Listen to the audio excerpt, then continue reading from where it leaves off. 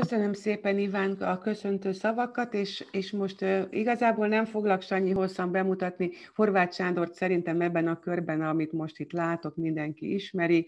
A külön uh, öröm, hogy uh, mi uh, Sanyival együtt dolgoztunk egy uh, uniós projektben nemrégiben, ahol még egyszer újra gondolhattuk nagyon alaposan nemzetközi keretben azt is, hogy mi az, hogy regisztrálunk kutatási dokumentumokat, különösen abban a kontextusban, amit a kulturális ellenállás jelentett a, a szocialista korszakban. Sanyi száz év magánycímmel a munkáskutatások hasznáról és káráról a 20. században fog nekünk előadni. Neki van egy saját múltja, és a munkáskutatásokban több könyvet publikált a témában, tehát nem csak a, a, a kulturális ellenállás európai kutatás miatt örülünk, hogy itt van velünk, hanem már azelőtt is jelentős dolgokat, hogy úgy mondjam, tett le az asztalra munkáskutatásban. Úgyhogy szeretettel köszöntünk, Sanyi, és akkor át is adom a szót neked. Nagyon szépen köszönöm a megtisztelő felkérést. Első kérdésem az, hogy látszanak-e a szlájdjaim, mert én megosztottam. Látom őket, és remek, remekül Jó, én. Azt előre mondom, hogy én csak évet látom, azt láttam, hogy kik vannak itt nagyjából a neveket, ugye úgy van valahogy megcsinálva ez a program itt most, hogy én nem látom a részvevőket, de elképzelem őket, igyekszem a fantáziámat használni. Itt mennek majd ezek azt a kérdezze, elnézést, elnézést, de hadd kérdezzem meg a többieket, hogy a többiek látják a Sanyit? Mert azért az fontos lenne, hogy ők ne engem lássanak. Én látom. Mindenki látja a Sanyit és a szlájdjait, ugye? Még ha nem is látnak. Igen, a chatben, igen. Mindenki pozitívan jelez vissza. Jó, jó, Látnak, jó. hallanak téged. jó van. Na, nagyon szépen köszöntök mindenkit, és köszönöm Évának, hogy felkérte erre a bevezető előadásra. Tényleg nagy megtiszteltetés, mert bár voltak, mikor érintettem a munkásokat a kutatásaim során, én nem érzem magamat kifejezetten a téma szakértőjének. És amit ígértem, az az, hogy megpróbálom áttekinteni az elmúlt száz évnek a általam kiemelt, tehát ez egy kicsit szubjektív válogatás lesz, de mint az előadásomból kiderül, minden válogatás vagy ilyen megközelítés valahol szubjektív. Tehát az általam fontosabbnak, vagy ebből a szempontból kiemeltnek tartott munkáskutatásait, és megpróbálom azokat a műfai sajátságokat áttekinteni, amelyek erre a témára jellemzőek voltak. A szlájdok mellett nekem van egy szépen megírt előadásom, és Évával úgy beszéltük meg, hogy körülbelül 30 percet fogunk beszélni. Én igyekszem majd ezt tartani, szerintem lehet, hogy 5 perccel túllépem, de majd igyekszem időnként változtatni a hangszínemet, hogy ne legyen olyan unalmas a dolog. Az első képen, vagy szlájdon azon van rögtön három idézet. Azért raktam őket egymás mellé, remélem mindenki látja őket, mert nagyjából ugyanarról szólnak, és meglepő módon, eh, bár elválasztja őket jó sok évtized, nagyon hasonló problémára reflektálnak. Miért nem szervezkednek nálunk a bérmunkás tömegek? A legműveltebb szakmunkásokról is igaz, hogy semmiféle politikai alternatívával nem rendelkeznek, illetve a gyári munkások nagy zöme nincs és nem is volt még megszervezve. Ugyanabból a munkából is származhatna, mégis a szerzők eh, azért eh, nagyon máskor írtak erről. Viszont nem arról fog szólni az előadásom, hogy a munkások szervezettsége igaz vagy hamis, hanem hogy miért tartják fontosnak a munkásokról írva, hogy ezt rendre így ebben a formában leírják. A kérdésfelvetést azt visszavezethetjük akár Alessandro Portelli munkájába feltett kérdésre, amikor nem az a kérdés, hogy Luigi Trastullit munkáslázadás során megölte a rendőrség, nem öltek meg ugye senkit akkor, hanem az, hogy miért ábrázolják úgy, mintha megölték volna. A szervezettség szempontjából nem csak az a kérdés, hogy mi történt, hanem miért írnak erről így, milyen kutatói, társadalomtudományos vagy más egyéb hagyományt követnek. A munkáskutatások időről időre úgy jelentek meg a társadalomtudományos diskurzusokban, mint a társadalomtudomány mostoha gyerekei, mintha mindig valamiféle partvonalról szerették volna láttatni vagy megérteni a munkásságot. Vajon mennyiben volt ez így, mennyire volt periférikus a magyarországi munkáskutatás? Előadásom egyik előfeltevése, hogy az iménti kijelentéssel éppen ellenkezőleg a hazai munkáskutatások rendre a progresszív, nemzetközileg is értelmezhető kutatások közé tartoztak, annak ellenére, vagy talán éppen amiatt, hogy rendre politikai reflexióként is olvashatók voltak. Szinte minden munkáskutatás a kutatás, kutatók szándékai ellenére is felhasználható volt politikai célokra is, ezért trendre kiemelt figyelmet kaptak. Az előadásomban igyekszem kb. 100 év általam kiemelt munkáskutatásai által felhasznált nézőpontokat és narrációs technikákat áttekinteni a századfordulós gyárfelügyelői jelentésektől kezdve az 1970-es évekig. Én megpróbáltam volna elmenni a 90-es évekig, de igazából nem fértem bele, aztán megnyugodtam, hogy következő előadásban Tóth András beszél valamelyes majd a 80-as évekről, és aztán láttam, hogy Valuk Tibornak lesz a legvégén egy előadás a e, rendszerváltás környéki dolgokat is érintve, úgyhogy e, remélem itt teljes lesz a kép. Az előadásban arra keresem a választ, milyen narrációs technikákat használtak a magyar munkások kutatója a 20. században, hogyan kapcsolódott mindez a nemzetközi társadalmi tudományos tendenciákhoz. A munkáskutatásokra jellemző elbeszélő technikák megismeréséhez érdemes visszanyúlni a munkáskutatások eredeti funkciójához, vagyis milyen célra használták fel a munkásokról szóló kutatásokat, kik voltak a megrendelők, kik olvasták a kutatási eredményeket, vagyis kiknek volt hasznára, idézőjelben és kárára a kutatás, nem csupán metahistorikus értelemben. Litván György az 1919 előtti munkáskutatások kapcsán írta, 1974-ben, ami fontos, idézem, a munkás kérdésben ennek legjobb kutató is lényegében csak bérkérdést, kenyérkérdést, lakáskérdést, szabadidőkérdést, művelődési kérdést, és persze öntudati és szervezettségi kérdést láttak, idézet vége. Ennek egyik oka, hogy a munkás kutatás bölcsője a gyakorlatban 1887-től megvalósuló gyárfelügyelői jelentések intézménye volt, amelyet angol, porosz, svájci és dán mintára vezettek be. A magyar munkáskutatás egyik ősszövege, Somogyi Manó 1891-ben megjelent írása a munkás viszonyokat vizsgáló gyárfelügyelői jelentések országos jelentéseit, országos eh, eredményeit elemezte.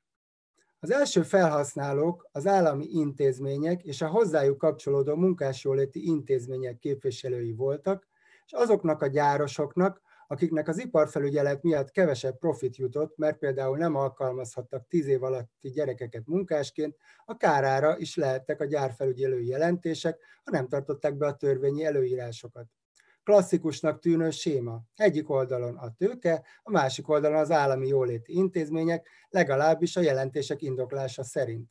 Csak hogy a történet, ahogy az lenni szokott, ennél sokkal szövevényesebb, és nem csupán az állami és magántulajdon hagyományos összefonódása miatt. A szövevényesség egyik fontos eleme, hogy miközben a magyarországi kezdetben etnikailag idegen néhány tízezres ipari bérmunkások száma a századfordulón többszörösére növekedett, a felhasználható politikai programok egymás közötti versenyében megjelentek a magukat a munkások érdekképviselőiként megjelenítő szakszervezetek, munkásmozgalmak és munkáspártok íme néhány, két, jobb oldalon látható két régi klasszikus munkáskutató, Weltner Jakab és Samuel Gompers. Azért raktam be az ő képüket, mert szerintem elütnek attól a képtől, amilyen kép most a fejekben arról szól, él, hogy hogy néz ki egy klasszikus munkáskutató. Ahhoz hasonló módon, ahogy a nemzetállamok megjelenése miatt vált a történelem szaktudományá a 19. században, ugye a munkás kutatások a munkás érdekvédelem politikai mozgalommá válása miatt és érdekében kellett, hogy a munkásokról szóló jelentések és írások egyre szakszerűbbnek tűnjenek, vagyis alapvetővé vált, hogy a munkásokról szóló írások performatív, alapvetővé vált a munkásokról szóló írások performatív jellege. Ennek köszönhető, hogy a munkás kérdésről vagy a munkásokról szóló írások szerzői között korán sem volt ritka az olyan szakszervezeti vezető vagy politikus, mint Feltner Jakab, aki 1901-ben éppen azon sopánkodott a gyári munkások kapcsán, hogy zömük nem szakszervezeti tag, nem cselekszenek tudatosan, érdekeiket nem védik, ami visszatérő kijelentésévé vált a munkáskutatásoknak. Korán sem véletlen, hogy a legnagyobb amerikai szakszervezet, az EFL elnöke Samuel Gompers írt elsők között a magyar munkásnőkről, a budapesti Malter hordónőről szóló írásában. A szöveg az alacsony bérezés és állatias munka mellett a magyar munkások szervezetlenségét részletezi, legközelebb a politikai röpülat múfejához áll, mint annyi más korabeli és későbbi munkásokról szóló írás. Akkoriban elsősorban a szociáldemokrata politikusok és szellemi környezetük kutatta a munkásokat, és erre másokat is öntözött, ösztönzött, mint például Ágoston Péter, Alpári Gyula, Szabó Ervin vagy Bőn Vilmos. A gyárfelügyelői, majd munkásokról szóló jelentések, beszámolók szinte megjelenésüket követően politikai jelentést kaptak. Ráadásul a munkáskutatások eredményei felhasználhatók voltak a politikai programok egymás közötti versenyében. Így akár csak a történetírás vagy a társadalomkutatás más eredményei, a munkáskutatások is mindig felhasználhatóak voltak politikai célokra, politikai törekvéseket is szolgálhattak a szerzők szándékai ellenére. Ez nem a kutatások céljára, hanem azok felhasználhatóságára vonatkozik, és a munkáskutatók nem feltétlenül tudatosan állítottak elő politika számára is felhasználható tudást. Mindez azonban nagy mértékben meghatározta a munkáskutatók eredményeit bemutató értelmező és magyarázó stratégiákat, a munkáskutatások reprezentációját, és azt, mitől tart szakszerűnek egy történeti hagyomány egy-egy kutatást, sőt, hogyan is lehet olvasni egy-egy munkásokról szóló kutatási beszámolót.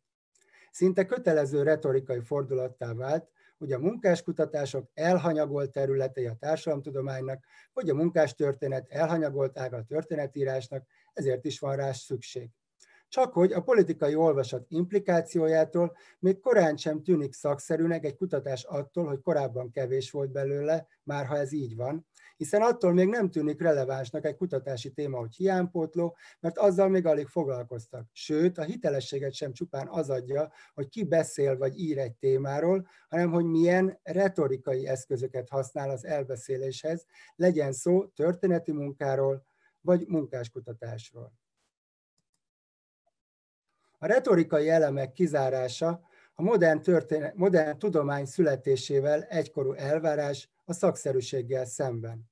Ennek ellenére nem csupán minden történeti munka olyan nyelvi szerkezet, amely a narratív próza formáit használja, hanem Hayden White historiográfiai elméletét adaptálva a munkáskutatás történetére minden munkáskutatás sajátos prózai elbeszélő formákat használ. Persze a fikciónak ebben az esetben is különböző szintjei vannak, de még a fikció legprimitívebb formája a munkásokról szóló statisztikai adatok közlése vagy diagramon ábrázolása is a kaotikus múlt vagy jelen értelmi szelektív feldolgozását jelenti. Ezért nem választható el a szöveg kontextusának megértése az elbeszélés formájának felismerésétől. Megcsináljuk az ország szociográfiáját, ha lehetséges, és ha nem lehetséges, meg fogjuk csinálni. Munkánk elképzelésünkben nem statisztika, nem irodalom, célunk nem puszta adatok megtalálása és megmutatása, nem puszta ábrázolás, hanem mindezeknek a felhasználásával valami több. Írta Szabó Zoltán 1934-ben társadalomkutatás címmel a Fiatal Magyarságban, alcíma szerint a Magyar Cserkész Férfiak folyóiratában. Miben áll ez a több? Vagy talán ez a több magában foglalja a politikai célokat is? Somogyi Manó, az Óbudai Hajógyár munkásainak helyzete című munkája Földes Béla egyetemi tanár vezetése alatt álló nemzetgazdasági szemináriumban született 1887 őszén. A tanulmány a gyárfelügyelő jelentések hagyományaira támaszkodva a statisztikákból indul ki, sőt, a szociál statisztika dishimnuszát zengi az első oldalakon. Mégis a számok sűrű szövetén főként az életforma bemutatásánál lakás, étkezés, ruházkodás, művelődés egyre gyakrabban átüt a társadalomtudós szépírói szándéka és szubjektivitása. Mintha éppen a szubjektivitás és a szépíráshoz közeli mondatok emelnék ki a munkát a feledés homályába merülő felügyelői jelentések közül. De vajon a szépírói szándék és a szubjektivitás tekinthetők-e a társadalomtudós szakszerű eszközének, és ha igen, mennyiben járulták hozzá a munkáskutatások megszületéséhez.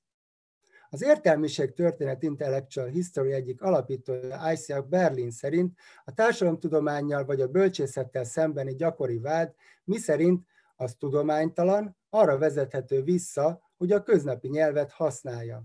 Ennek is köszönhető, hogy a társadalomtudomány, köztük a munkáskutatások a statisztika nyelvének használatával igyekeztek távolságot teremteni a köznapi nyelv és a tudomány nyelve között.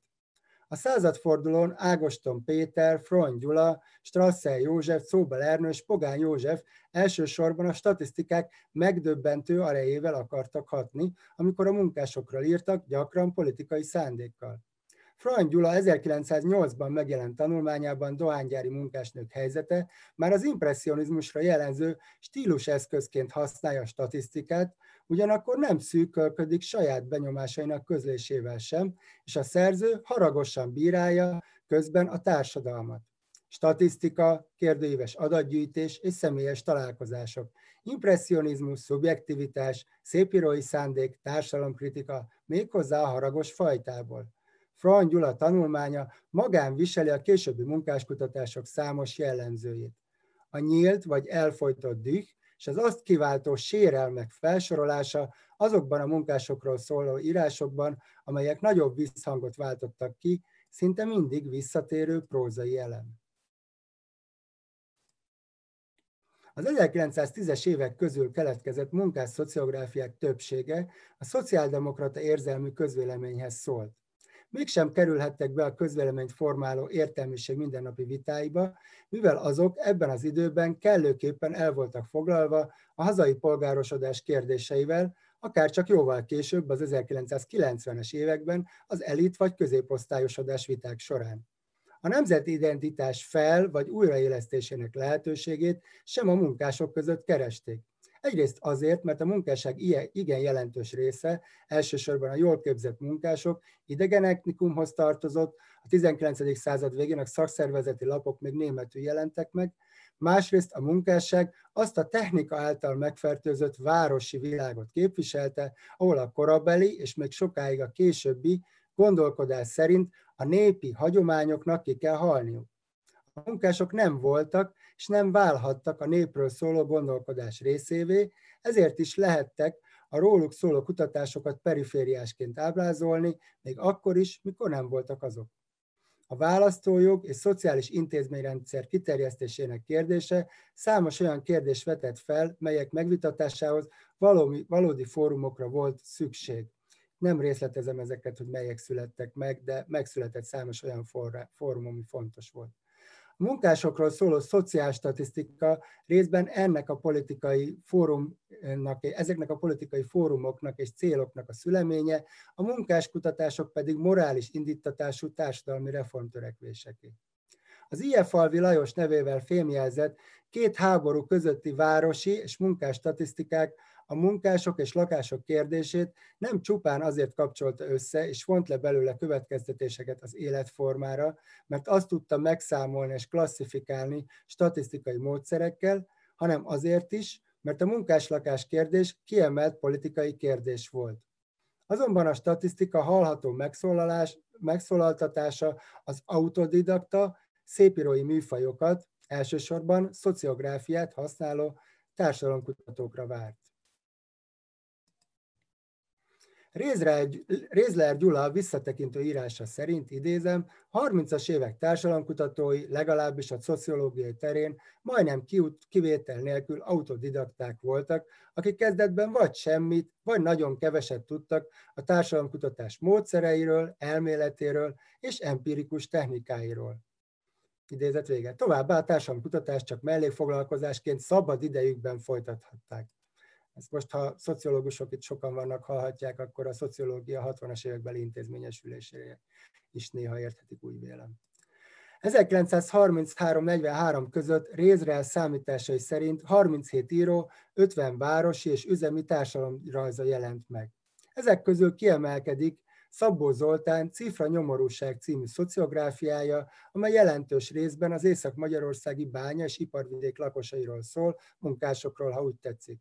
Azonban nem azért emelkedik ki a két háború közötti munkásokról szóló írások közül Szabó írása, akit a társadalom megismerése során a cserkészek reformhevülete is hajtott, mert empirikusan megalapozott, vagy módszertanilag következetes lett volna, még csak azért sem, mert határozottan politizált írásaiban, hanem elbeszélő prózai technikái, különösen a nyelvhasználat és a nézőpont tudatos váltogatása miatt.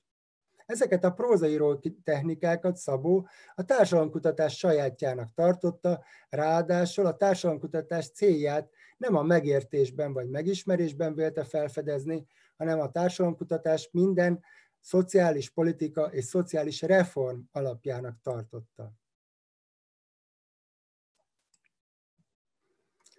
Társadalomkutatásra Szabó Zoltán szerint szüksége van a politikusnak a tetthez, az írónak a valóságábrázoláshoz, a földbirtokosnak a földreformhoz és a néplevelőnek.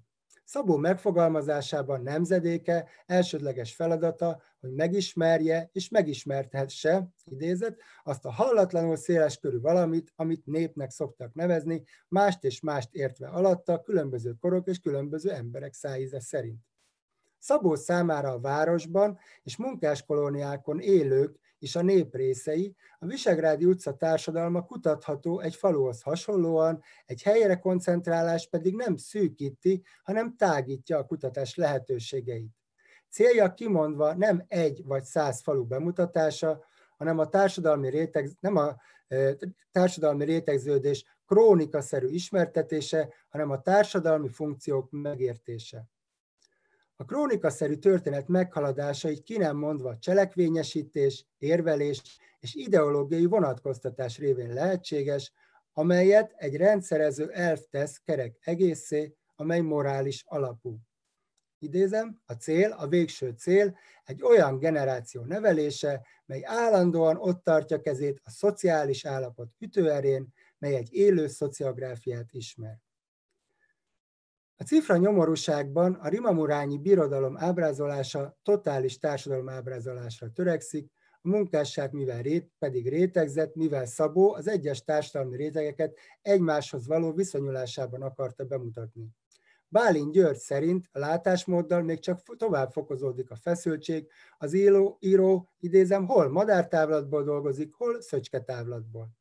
Boldizsár Iván szerint Szabó célja a stílussal a felrázás és a megrázás. Így a társadalomkutatás elsődleges olvasata politikai célokra könnyen használható. Ebben pedig éppen a tudománytalanság vágyát megalapozó köznapi nyelv magasfokú használata segíti. A társadalomtudományi műfal irodalmivá egyúttal politikaivá tétele Erdei Ferenc 1941-es visszaemlékezése szerint a 30-as években a műfaj szerves részévé vált. 1938, amikor a cifra nyomorúság megjelent, kulcsfontosságú év volt a magyar társadalomkutatás politikai szerepe miatt. Idézet, a tardi helyzet óta nagyot vált, nagyon változott a közvélemény szemlélet, szemlélete az ilyen munkák irányába, társadalomébresztő szerepüket a közönség siker mellett a hatóságok heves érdeklődése is jellemzi, írta a Nyugat 1938-ban Szavó könyvje kapcsán. A nyugatban megjelent kritika szerint Szabó Zoltán nem szavakkal kiállt el vágyait, hanem tényekkel. 1937 tavaszán őszén perbe fogták Féja Gézát és Kovács Imrét, a társadalomkutatók egyre inkább a kormány ellenzékeként léptek fel, vagy annak ábrázolták bármelyik tettüket. A társadalomkutatás reflexik volta magában foglalja ellenzékiségét. Szabó Zoltán is aláírta azt a memorandumot, amelyben a magyar progresszió kiemelkedő képviselői tiltakoztak a bírói ítéletek ellen. 1938-ban jelent meg Rézler Gyula, a magyar nagyipari munkásság kialakulása, és hat éven belül még Rézlernek még két ütörő jelentőségű munkája jelent meg. Tudományos igényesség, tárgyilagosság, történeti szemlélet, a munkásság rétegződésének, társadalomba való beágyazottságának és életformájának vizsgálata jellemzi Rézler munkáit. Ugyanakkor hiányzik a szubjektív szemlélet, az irodalmi stílus, a statisztikai adatok fantáziádus újratelemtése, ami Szabó Zoltán műveit annyira élvezetessé teszik. Persze ennek oka elsősorban a szerzők céljainak különbségeiben rejlik. Részrel a tudományos közvéleménynek, míg Szabó az irodalom és társadalmi kérdések iránt egyre egyaránt érdeklődő szélesebb közönségnek írt. Ám hiába a tudományos tárgyilagosság, a háborút követően Szabó hatása kétségkívül sokkal jelentősebb, mint Rézleré, irodalmi stílusa és politikai reformtörekvései miatt. Ugrunk egy kicsit az időben, és ez majd kiderül remélem, hogy miért. Földes Anna újságíró színikritikus, aki 34 éven át volt a Nők Lapja kulturális rovatvezetője, 1966-os írása kifejezte a korabeli hivatalos álláspontot a társadalomkutatás szerepéről. Idézem. A korábbi falukutatók Erdei Ferenctől Veres Péterig 1945 után úgy érezték, hogy megnyílt előttük a közvetlen politikai cselekvés lehetősége, sem idő, sem igény nem igen mutatkozott a társadalmi mélyfúrásra. Idézet vége. Persze korán sem biztos, hogy ezt a társadalomkutatók is így gondolták. Talán az is lehet, hogy egy részük értelmiségiből politikussá vagy hivatalnokká vált, amivel elvesztette az önreflexió lehetőségét. Ahogy Kemény István írja Szelény Iván bírálataként, nem az értelmiség vette át a vezető szerepet. Értelmiségi foglalkozású, egyetemi oklavél birtokában lévő emberek kerültek a parlamentbe, köztársasági elnöki, miniszterelnöki, stb. pozíciókba, de nem valósult meg az értelmiség osztályuralma idézet vége. A háborút követő első években a munkásokról leggyakrabban, mint az újjáépítés vagy a munkaverseny hőseire írtak, írtak propagandisztikus hangon.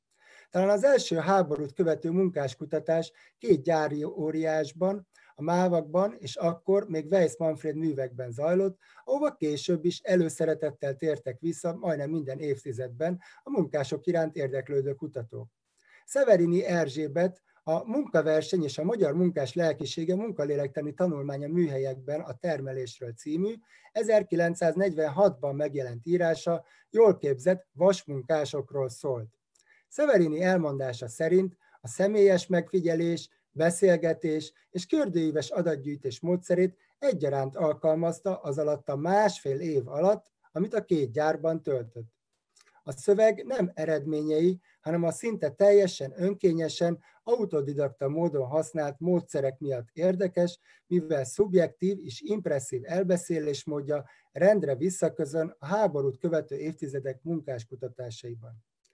Severini különféle intelligencia teszteket végeztetett el a vasmunkásokkal, melyek során például arra a következtetésre jutott, hogy a vasmunkások értelmi képessége jó, a VM gyáriaké valamivel jobb, mint a bávak gyáriak beliek, bávak belieké. A szakmák között az esztergályosok érték el a legjobb eredményeket, azért intelligencia tesztekben őket követték a lakatosok, a kovácsok és a vasöntők. A vizsgálat a személyesség egyik leglényegesebb visszatükröződésének a munkamódot és a mozdulatok leírását tartotta. A munkamozdulatok és a munkások külsejének részletes leírása, amely a terrorizmus munkateljesítmény növelő megfigyelése jóta virágzik, rendre visszaköszön a későbbi munkáskutatásokban is, akár csak egy gyáron belül a munkások típusainak felvillantása, például Szabó Zoltánnál vagy Kemény Istvánnál. A tipizálás és pszichologizálás alapvető jellemzője a tanulmánynak, ami az autodidakta módszerek örökléséből is fakad. Például a vasmunkások önbizalmát Severini labilisnak ítélte.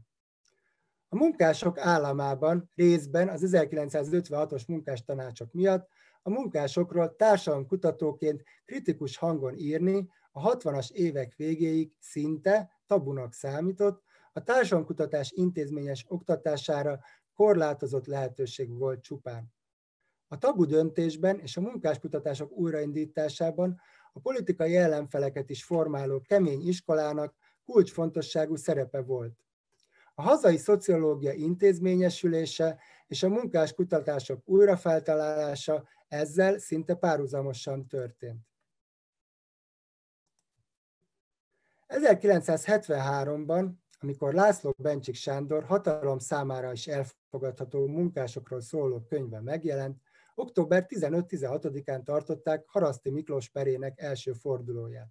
A könyv közönsége, bár témában és megközelítésben hasonló volt, mint László Bencsik könyve, a második nyilvánosság révén formálódott, és a per miatt a munkásokról szóló írás rendszerellenes röpirattá változott. A munkásokról írni önmagában is politikai állásfoglalás lehetett. Hogy miért éppen a darabbér?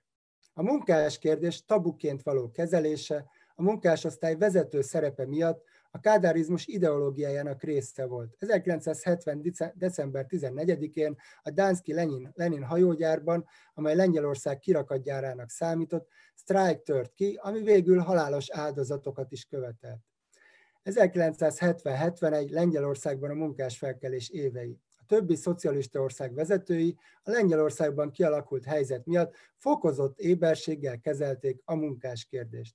Kádár még emlékezett a 15 évvel korábbi 56-57-es magyar munkástanácsokkal való küzdelmére, mint ahogy a munkások idősebbje is emlékeztek erre. Félelme a munkástanácsok feltámadásától nagyobb volt annál, mint sem engedélyezte volna egy munkásokat lázító mű megjelenését, még akkor is, ha itt acél szerepét próbálják kideríteni, ezért mindenki tudja, hogy Kádár volt a főnök. Ugyanakkor a taktikai érzék itt nem volt tökéletes, a harasztiper nem elnyomta, hanem felszította az érdeklődést a munkáskérdés iránt. A darabér esetében már nem is maga a kézirat, hanem az ellene indított hadjárat elleni harc vált fontossá. Idézet. Az ügyészség 2-től 8 évig terjedő fegyházat kért az izgatás súlyosabb esetére hivatkozva. Sokszorosításnak nevezte a kétszeri legépelést. Első, fel, első felszólalásában kijelentette, hogy a vádirat elírásból kifolyólag tévesen mondja műnek a vád tárgyát, ez mindenütt gúnyiratra javítandó. A bírónól felszólított, hogy ne idézzek a könyvből, mert jobban ismeri nálam, írta később Haraszti. Bár Haraszti könyvéből a szociológiai elemzés szinte teljesen hiányzik, a gyár társadalmi rétegeinek és az őket foglalkoztató egyik legfontosabb probléma a teljesítménybérezés leírása mégis olyan keretet ad az irodalmi műnek, ami szociológikus megközelítést tett lehetővé. A bérkérdés és a politikai célokra felhasználható társadalomkutatói kritika összekapcsolása, irodalmi formában közlése addigra szinte már-már hagyományá vált a munkáskutatásokban. Az 1968-as reformok szellemében nyilvánosan is szóba került a teljesítménybéres rendszer felülvizsgálata, de az végül nem valósult meg. Haraszti abban a légkörben írta könyvét 72-ben, amikor még nem dőlt el, hogy a teljesítménybén marad vagy megy.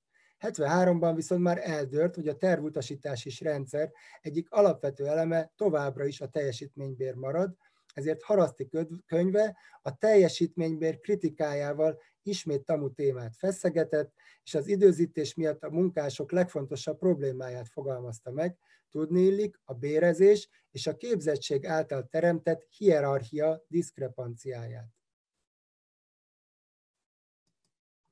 Kemény István kutatása is rendre visszatérnek a normák és a bérek ellentmondásosságának kérdéséhez, és nem csupán azért, mert számára a történeti hagyomány akár csak Szabó Zoltánnak fontos volt. Kemény ábrázolásmódjának alapvető eleme, hogy szereplői, az interjúpartnerek rendszeresen megszólalnak. A részvevő megfigyelői szerepből szinte sosem lép ki, emiatt, mint arra Szabari Vera rámutatott, holisztikus szemléletben írt, és az elbeszélés módszeréből fakadóan állásfoglal olyan kérdésekben, amelyekben az éppen akkor idézett a kritikai szociológiát távol tartó depolitizált szociológia nem tette meg. Részben ezért sem fogadták be, hiszen az intézményesült szociológia elemzéseinek elbeszélésmódja idekezett távol tartani annak a lehetőségét, különösen a munkásokat érintő kérdésekben, hogy politikai célokra fel lehessen használni. Ez kérdéses egyébként, hogy már sikerült elérnie. Másfelől kemény módszertani individualizmusa a hazai progresszív munkáskutatások hagyományát követte, amelyben kemény szociológiai kutatásaiban az egyének gondolkodásmódjának megértésére, az egyéni cselekvők által kialakított társadalmi cselekvések elemzésére törekedett, ahogy Szabari Vera írja. Ebből a megértés és ábrázolásmódból következik, hogy kemény szövegei és elbeszélésmódja igen könnyen felhasználható volt a politikai aktivizmus számára is. Sőt, ahogy azt Misetics Bálint kemény István írásain keresztül bemutatta, az a fajta társadalomkutatás, amely keményhez kapcsolódik, morális társadalmi felelősségtudaton alapul. Más szavakkal, ebben a narratívában a társadalomkutató felelős a társadalomért.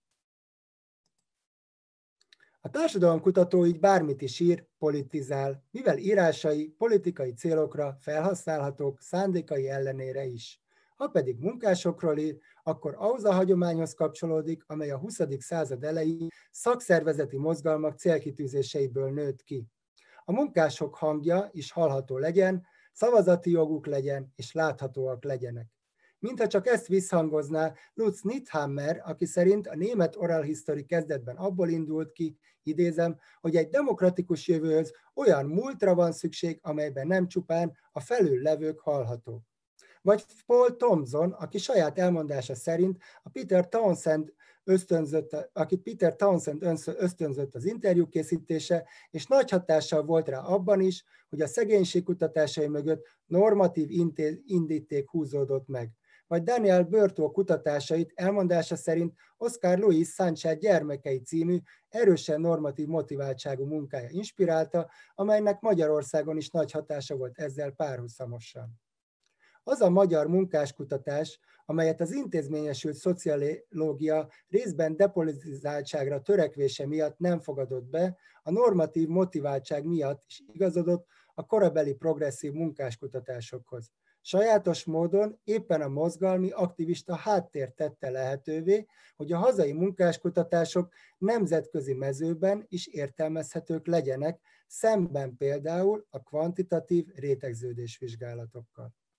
Azzal párhuzamosan, ahogy a magyar munkások a 60-as, 70-es években ismét a társadalomkutatók fókuszába kerültek, Nyugat-Európában is újra színpadra léptek, méghozzá alapvetően 1968-hoz kapcsolódó politikai okokból. És itt nem részletezem azokat a mozgalmakat, amelyek a oral history is egyébként életre hívták, és például Olaszországban a szakszervezeti mozgalmak finanszíroztak. A nyugati új munkáskutatások motorját adó interjúzás vagy részvevő megfigyelés politikai vagy szakszervezeti háttérrel indult, és könnyen felhasználható volt politikai célokra, akár csak Kemény, Szabó Zoltán, László Bencsik vagy Haraszti munkái. Ez persze nem jelenti azt, hogy a társadalomkutató ne használhatna tudományos kódszertant, vagy ne használhatna vagy ne használhatna, mit nem használhatna? Vagy ne helyezhetné tudományos kontextusba eredményeit, nem, ját, ne játszhatná el, hogy harag és részrehajlás nélkül fordul tárgyához. Azonban fontos, ha reflektál arra a tudománytörténeti hagyományra, amelyhez írása kapcsolódik, és amelynek fontos része szövegének politikai felhasználhatósága, valamint a tudománytalanság vágyát időről időre kiváltó köznapi nyelv használata ha másért nem, morális vagy ismeretelméleti okokból. És köszönöm a figyelmet. Mi is nagyon szépen köszönjük, a, köszönjük az előadást, és biztos vagyok, nagyon provokatív volt néhány eleme, gondolom nem véletlenül. Egyáltalán nem hiszem, hogy ez 10 percben, ami még fönnmaradt, meg tudjuk vitatni, de akinek kérdése van, az gyorsan jelezze ebben a Q&D boxban, amit én sajnos nem tudok oda írni nektek, önöknek, hogy lássuk. A, igazából a, a legfontosabb, ami, ami, amit én, én, én felvetnék itt, hogy, hogy egyrészt tényleg ez egy nagyon fontos histori- historiográfiai vagy, vagy tudománytörténeti összefoglaló volt a részedről, Sanyi. A másik viszont az, az, hogy úgy látjuk, hogy mint hogyha nem lehetne munkásokat kutatni azok nélkül, a peremfeltételek nélkül, amelyek rendre, politikai határokba ütköznek, hogy látsz ebbe valamiféle ellentmondást, mert hogy úgy, úgy látom azért, hogy közben megszülettek elég jelentős munkásszociológiai munkák és, és kutatások, amelyek az adott politikai kereteknek a széléig nem jutottak el, és mégis le tudtak írni tudományos jelenségeket, amelyeket később aztán akár használni is lehetett. Hogy látod? Világos, én igazából csak annyit akartam mondani, hogy ez egy nagyon forró politikai téma volt mindig a munkáskutatás, és majdnem minden fontos mű az ennek a tudatában született, még akkor is, ha a szerzőik nem beszélnek erről, azt gondolom.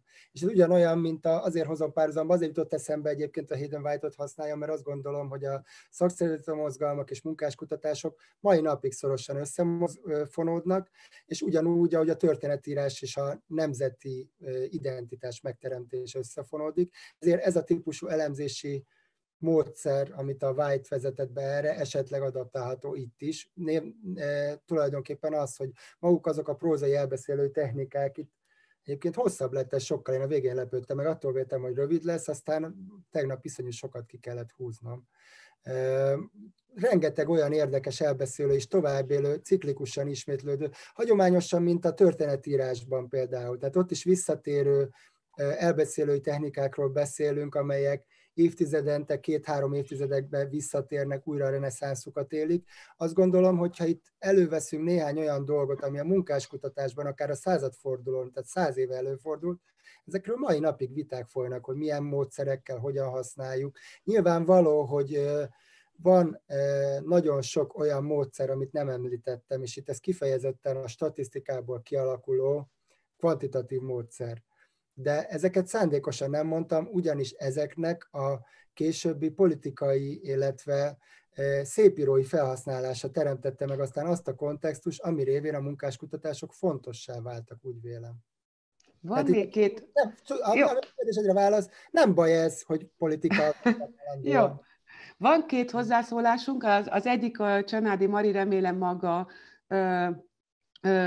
mindjárt elmondja, a másik pedig a Tóth Andrásé. Engedd meg, hogy felolvassam, mert akkor e, egyszerre tudsz a kettőre válaszolni.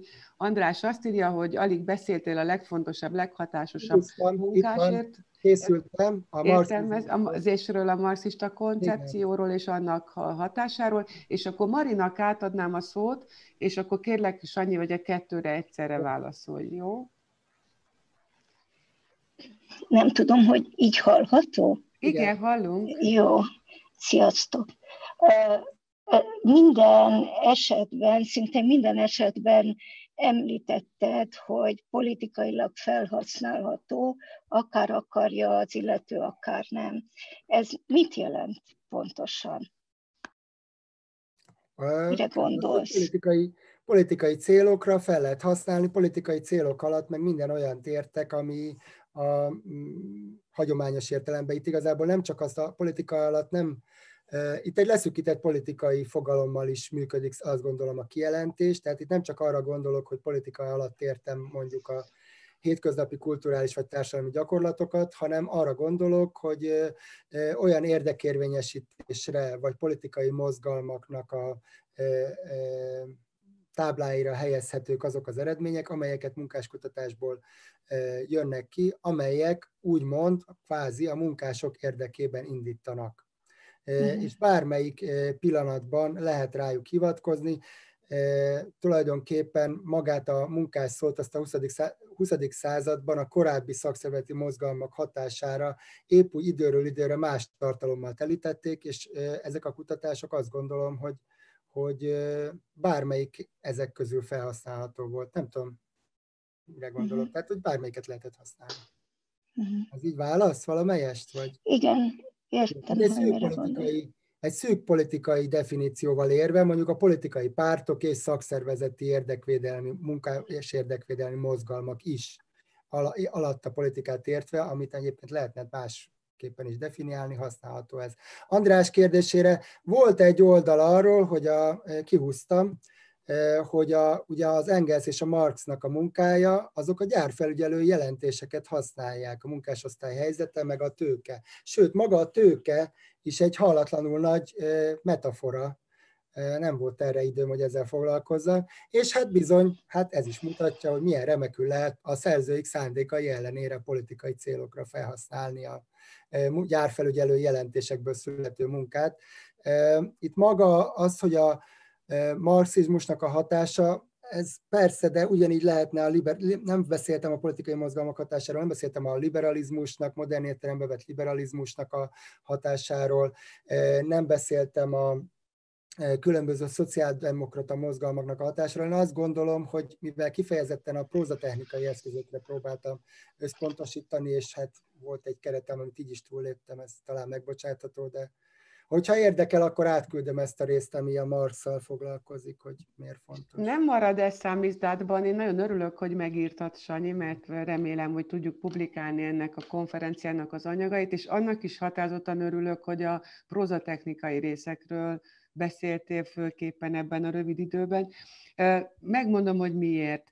Nem lehet én vagyok munkásságkutató, vagy munkavilága kutató, tehát lehet, hogy András ki fog javítani, de hogy a, a társadalomtörténetben a munkáskutatások ugye nagyon szorosan összekapcsolódnak az oral history mint módszer létrejöttével, és ugye mi ehhez vagyunk ide tapadva, mint forrásanyaghoz és módszertanhoz, és ennek a válsága is lényegében pontosan a politikájából fakadt, hogy hiába interjúztak kismillió munkást, nem tudták visszaadni a hangot mert a politikai szerkezet az nem lett más. A, az, az elnyomásnak a, a struktúrái nem változtak, a hierarchiákban nem tud egy tudományos munka beavatkozni, és egy idő után maga a munkásság, vagy az etnika, adott etnikai csoport, vagy a társadalmi nemhez tartozó elnyomott lázad föl, hogy ne beszéljen helyette a történész vagy a szociológus, hanem ő akarja megkeresni a hangját, és valahogy igazából a marxizmusnak is ezen, a, vagy a marxista társadalom kutatásnak is ezen a szűrőn még át kéne menni, és nagyon örülök, hogy említetted, hogy, a, hogy Engels és Marx milyen empíriából dolgozott, mert annak úgy, a, ott egy ugyanolyan távolságot látunk a munkás osztálytól, vagy a munkásságnak a mindennapi életétől, mint ami a többi, akár liberális, vagy, vagy deskriptív, vagy statisztikai megközelítésmódban. Hát erről nagyon jó lenne még sokat beszélgetni, és fogunk is, mert a témák, amiket érintettél, azok ö, ilyen, hogy is mondjam, hermeneutikusan Hayden White örülne, vissza fognak jönni szekciókban is, és kerekasztal beszélgetésekben is, és nagyon szeretném, hogy minél többen ott legyél. Köszönjük még egyszer, ideális kinot volt a, a, a következő két naphoz, és én akkor át is adnám a, a következő házigazdának a, a, a szót, és a következő résztvevőknek, tehát most folytatjuk egy, egy panellel, amely panel a, a Reflexiók az örökségre címet viseli, régi módszerek, értelmezési keretek kutatási anyagok összehasonlíthatósága, a házigazda Szabari Vera lesz. Úgyhogy Kérek egy, egy kis technikai egy perc szünet, amíg, amíg én átrakom az embereket Jó. a megfelelő... Én megköszönöm akkor a Sanyinak a nevünkben még egyszer Horváth Sándornak, hogy, hogy elindította ezt a, a kétnapos konferenciát. Köszönjük.